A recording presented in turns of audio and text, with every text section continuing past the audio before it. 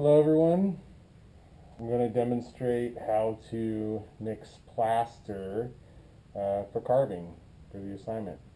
Um, so the tools that you will need for this, your bucket, stir stick, your small sponge from your pottery kit, your glasses. Uh, it's a good habit to um, get comfortable wearing these, even though things may fog up when breathing the mask, uh, but it will protect your eyes from splashes and things like that. Plaster is non-toxic, um, but with the particulates, if they get stuck in your eye, it can be abrasive, right?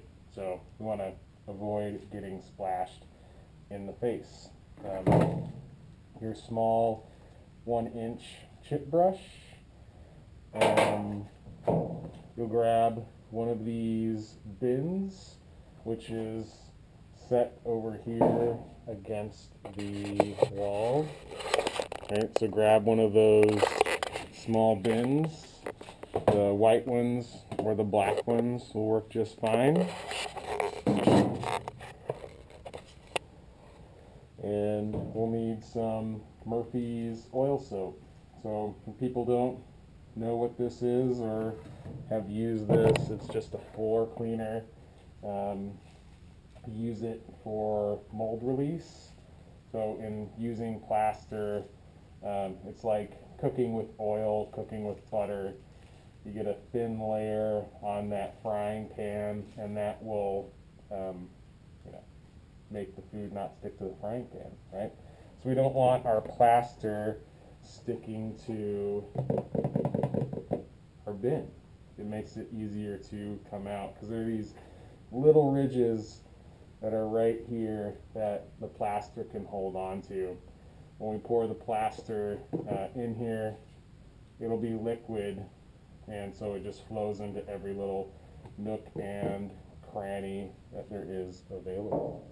So that's what we need. I've set out the Murphy's oil soap on the tables for you guys to use. Right, we got two on this table. We have two on the opposite table over there. Okay, so uh, a couple of things. I'm going to take you over to the sink and talk about cleaning, prepping, and what needs to be done. Follow me. So we have several or a couple of uh, garbage cans around. There's this one by the sink. Um, there's one over there by the shelves, and then one in the back over there, which I may move to make it more accessible. But we have several places for garbages for you guys to throw things out. Um, the sinks, we cannot let any liquid plaster go down into the sink uh, because as it solidifies like concrete does, you know, it hardens, it has the possibility of clogging pipes. So that's why we have uh, water buckets in the sinks for rinsing, things like that. So we'll change out the water We'll throw away the sediment that collects at the bottom of these buckets here.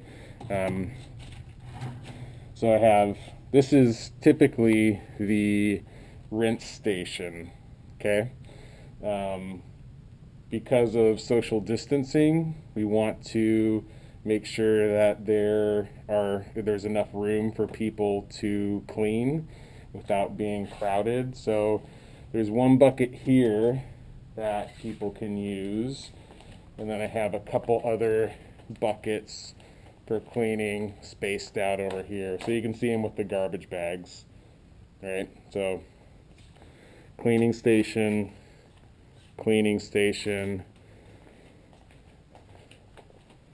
cleaning station here. We also have um, buckets with uh, the molding plaster in them that are filled up. Okay, so uh, again, being aware of social distancing, we want to be careful of that. Um, bucket there, a bucket under there. Um, this is the large bin that I typically use with students, um, but you know, we'll uh, spread the love, right? So, I want to make sure everyone has enough plaster to work with. And the last plaster um, container there. The bags of plaster, um, in case we run out and need to refill. If anybody grabs a bag when I'm not around, we have bags down here. You can clearly see it labeled as number one molding plaster. And we also have our plaster cabinet in here that is chock full of fresh plaster.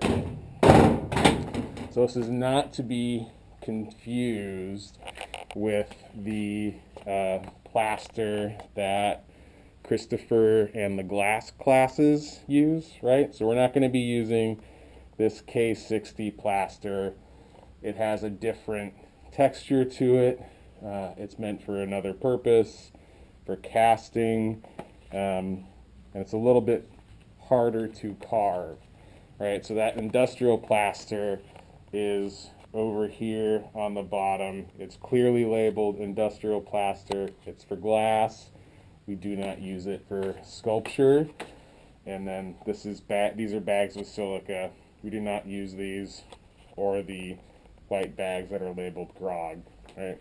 So I'll usually be around or the technicians, uh, Anissa and Spencer to refill the plaster buckets. So just let me know and we can refill those. But, you know, someone felt the need to take it upon themselves to refill a bucket, they can do so, right?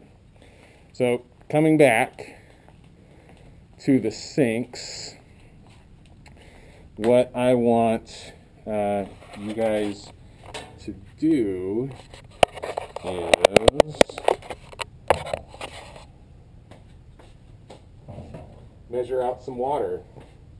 So with this bin, you can see there are a couple lines. It might not be as clear in the video here, um, but when you get to the bin, the reason why I like these so much is that you can pre-measure um, the water to a specific line, and then uh, we'll take that water and pour it into our bucket. So using this bin,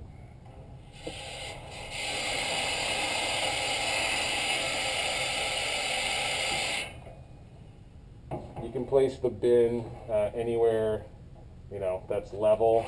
It was just slightly off level on the bucket so I'm just making sure that it's level here when I fill up. So I'm just measuring to the first line maybe a little bit beyond. You want to make sure you have enough water so you have enough uh, plaster to carve by the end of it. So from here, we'll take our water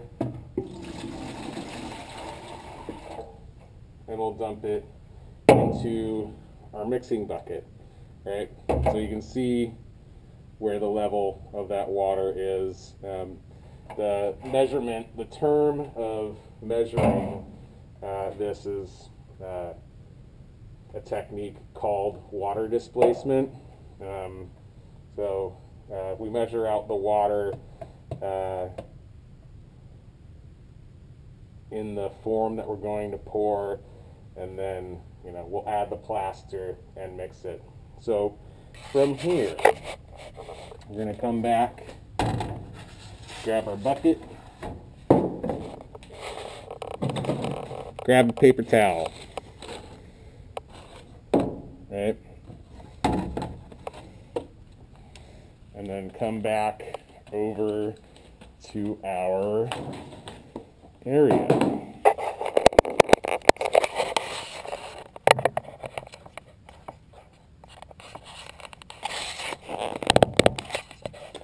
want to adjust the camera just a little bit.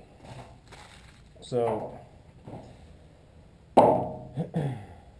I really like this fisheye lens. Um, it gives the ability to uh, see what's going on in all sorts of directions. So, to oust myself, I'm doing a bad thing and wearing sandals. So, it probably showed up in the fisheye lens. So, um, shame on me. I shouldn't be doing that, but for this demo, we'll get by, okay?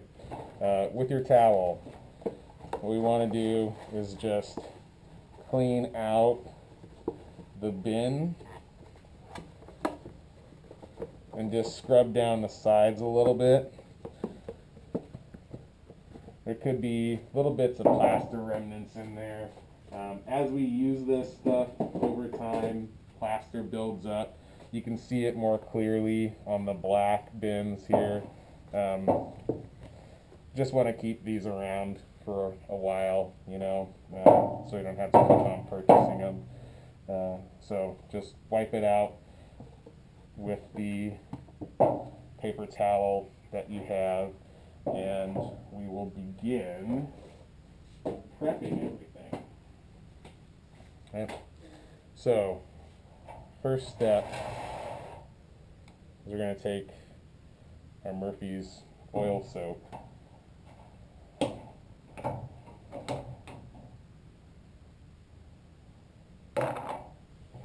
And with your brush, just lightly dab it in the Murphy's. Um, if anyone's ever never never used Murphy's, it's kind of like Pine Sol, right? Uh, so take your brush and then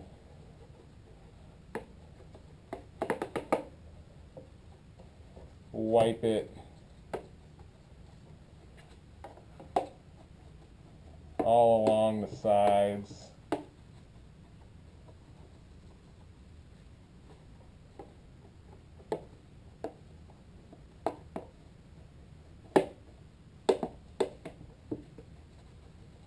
Make sure it gets all over, right? So, plaster is uh, one of the characteristics of plaster is that it takes on uh, anything that is on the surface, like any texture or anything like that. So if, you know, it's not a huge deal if you don't, if you forget to wipe this down. Um, but there are some streaks that are left by the Murphy's oil soap here, and it'll leave a texture. Um, so if you're pouring plaster to get a clean um, surface, uh, we would want to wipe this down. So just a little bit of, you know, water, take your small sponge, wring it out real quick in your water that you have here, and then you can lightly wipe clean the surface here.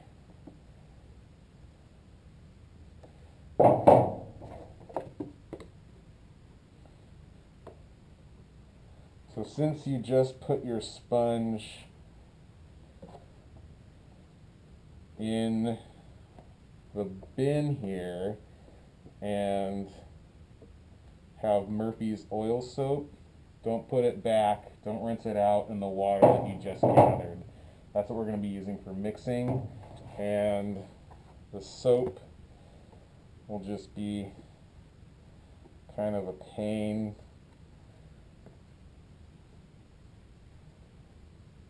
when mixing the plaster. It may take a, you know, it may not set correctly, it could crack, um, that sort of thing. So the bin is properly wiped down. Okay, from here, we're going to start mixing our plaster. Um, now you might be asking yourself, what are these lovely little uh, things? Um, they're ventilation for plaster mixing. Um, so it'll suck up all the particulates in the air and uh, make sure that we are not breathing the uh, dust, right? We're not having anything go in our lungs that could cause us harm um, for future use. Now, like, uh, I do have to say, like, in industry, people being around uh, plaster, being around silica, particulates in the air, breathing those, it can be a really harmful thing over years and years and years working in this type of environment. We have a very low risk of um, you know, inhaling uh, an amount of silica, plaster dust, air particulates that would cause us real harm, right? But it's something that we do want to prevent. So when mixing, we want these uh, on all the time. So where those are, the uh, switch is right here. So we'll press start, that'll start that up. Um, our lights are right back here as well, right? So if the lights are off, click it on, click on our ventilation, we can start getting mixing. So hopefully you guys can hear me well. Um, so this molding plaster bin here is the one that I'm going to use. Uh, it's a large one. It's on wheels. It will be right under here, under this shelving. Alright, so take it out to where you need it.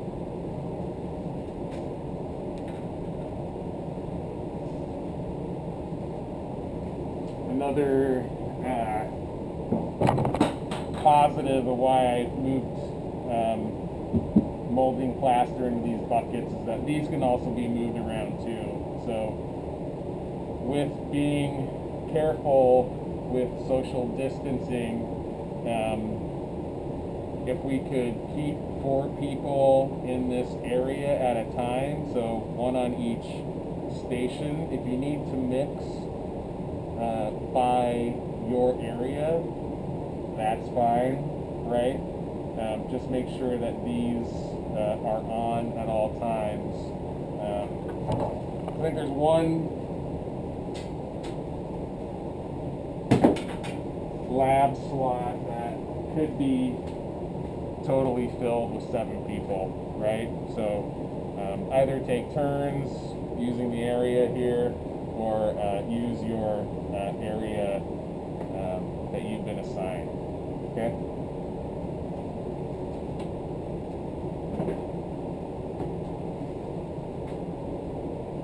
So there's a couple different ways to mix plaster. Um, you can mix by volume, you know, by weight. So if I have like one pound of water, it takes such and such percentage of plaster to, uh, you know, mix, right? Uh, I do it by look and feel for what we're doing. It's totally okay. Um, the other methods of like measuring plaster for a little bit more precision uh, in be used in ceramic uh, slip casting industrial processes of making multiples um, and uh, glass casting. Because you want those percentages to be precise for holding up to firing temperatures. But we're going to be carving so we don't have to do that.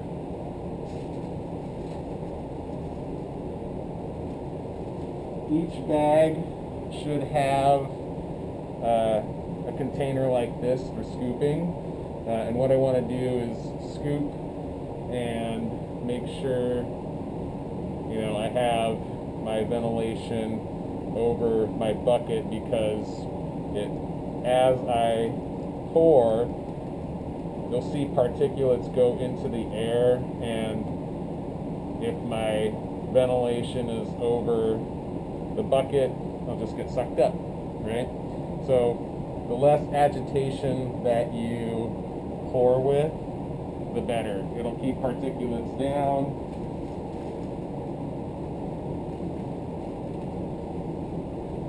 We won't have them in the air. If you're noticing, I'm just lightly shaking the plaster right into the center of the bucket here. Um, and what I'm looking for is what's called uh, an island. So as the water becomes more saturated with plaster, it'll begin to form a little island in the center of the water and um, you know it's absorbing the water uh, and that's what we're looking for.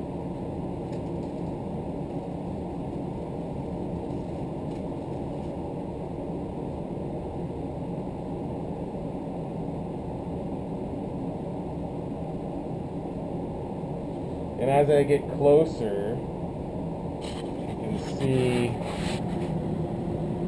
how it's just starting to form that island, right?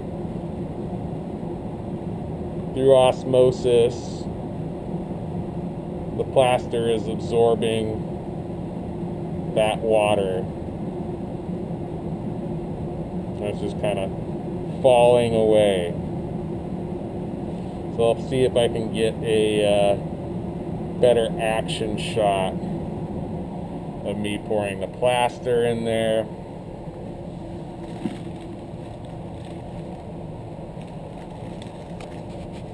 Okay, here we go. So aiming for that center, you can see how the plaster gathers, falls away, into the water, absorbs the water as it sits.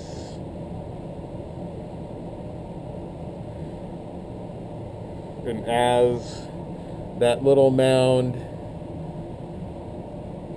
begins to stay on the surface, um, it's a good indication that we have a good ratio of plaster to water. Okay, so for uh, good measure, I like to take a little bit of plaster and shake it around the outside because there's no harm in pouring this plaster on the thick side. Okay, so lightly sprinkling plaster around the side.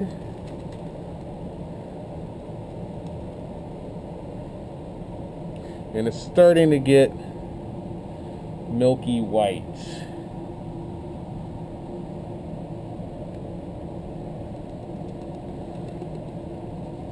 And that nasty looking thing in the center there might be a bug. Nope. It's a piece, piece of uh, the bag, ripped from the bag. So, not a bug. Don't worry about getting your hands in there and finding bugs. Well, was not a bug. Great. So, there we are uh, with mixing the plaster. Um, since we're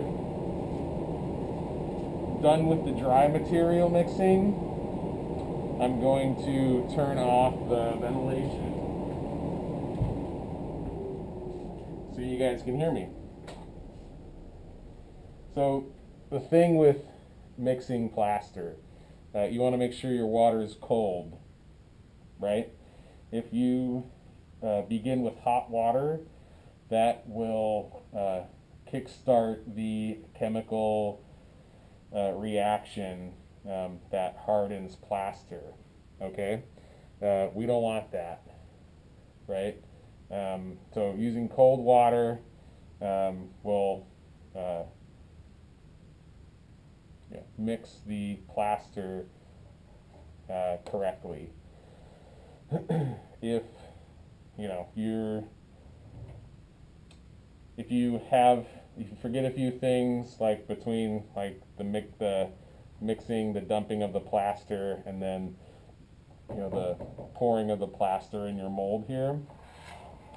You have a window of about 20 minutes here before mixing before things really settle. So once you agitate the plaster in water that's when the chemical process uh, really starts um, if it just sits here for a little while, it's fine. Like I'm talking, I'm not worried about this setting up.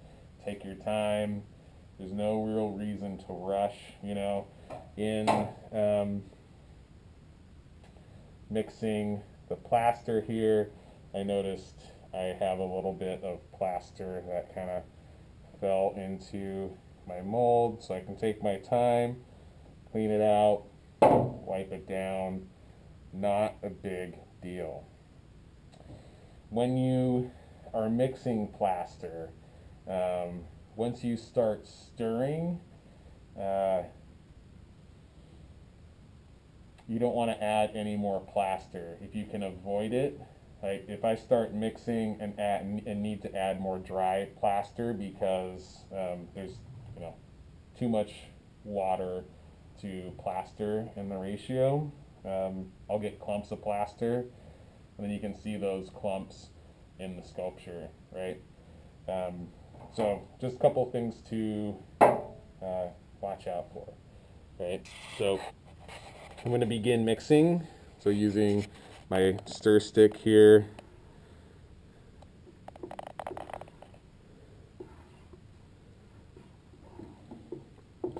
So back and forth in a circular motion. You can see how thick the plaster is on bottom. So I want to make sure things become uniform.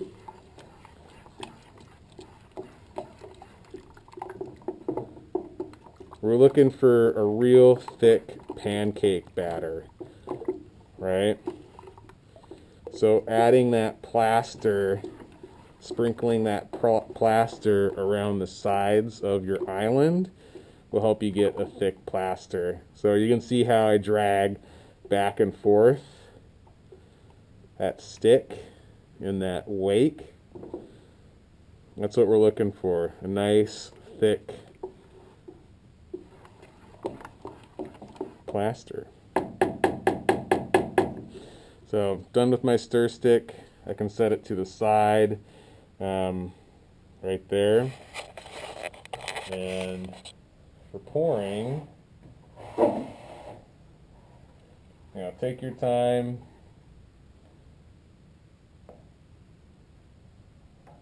And just make sure that you pour at an even rate.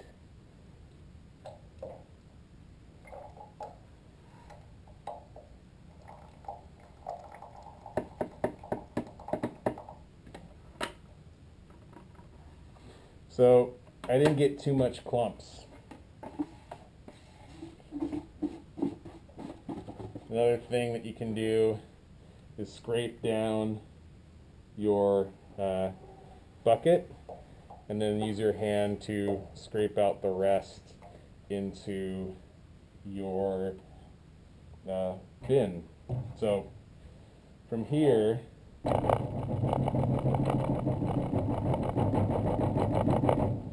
can lightly tap the sides. Things are still pretty fluid.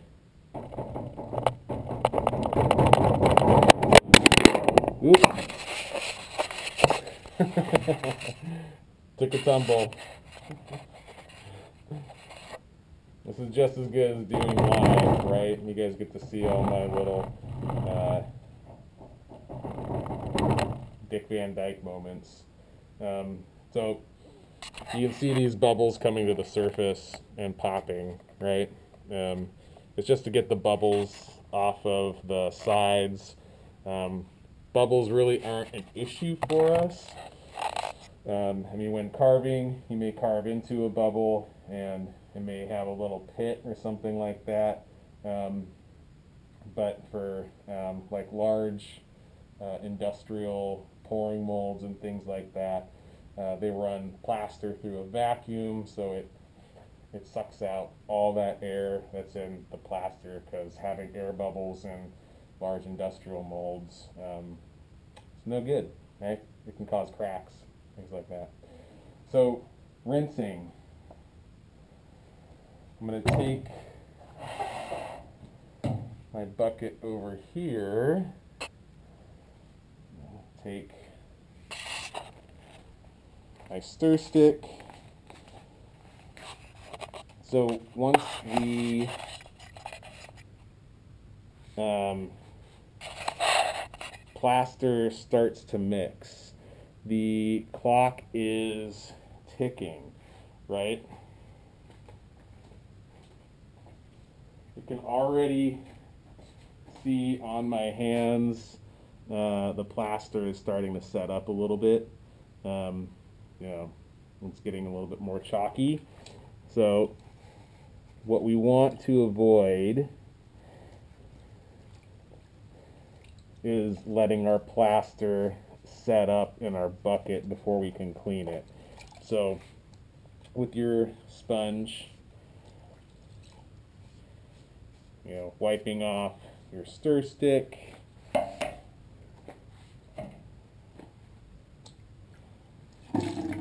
you can take a little bit of water from the bucket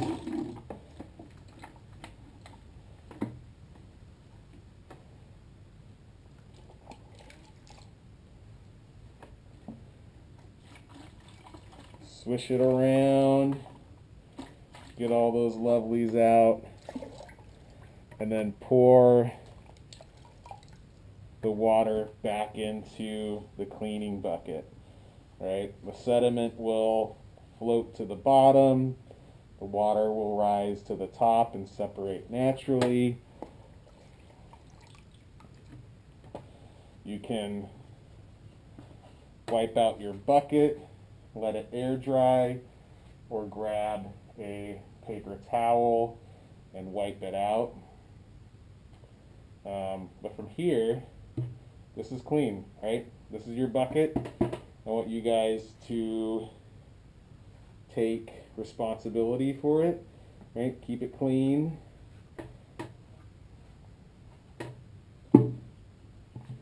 And then cleaning up uh, the area here, like for instance, there's a little bit of dirt pile that's right there that needs to be swept up. When I was pouring plaster, a little bit fell out.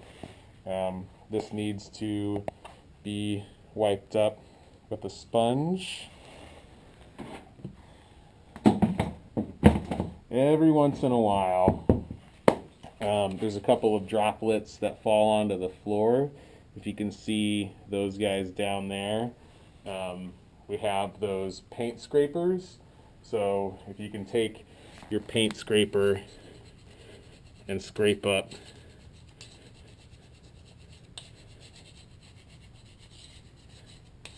the plaster droplets that hit the ground like ooh that's a good one so if if you like cleaning things this is an oddly satisfying thing, like this little guy right here. Yeah, right? Um, so scrape, sweep up. You know, I'm going to clean this real quick with a uh, large sponge. Show you where those are. We have sponges and things up here if you should need them. Okay, um, so grabbing a large sponge,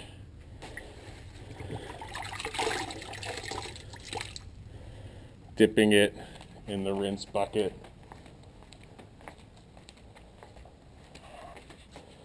and then coming over here, cleaning up the area, right? You can see all that sediment that got wiped up. And that's clean, right? So with that bin, um, you can carry it over to your area, let it set up. So you can see it's still fluid, uh, hasn't completely set yet. It'll take a good hour for it to get hard, right? So this is an example of a, a block that has set, okay? Um, so it's a big difference. So in moving these, just be careful not to spill. Grab the sides, carry it over to your space, and let it set up. All right? Thanks for watching. Uh, send any emails that you may have, any questions that you might have, and uh, on to the next demonstration.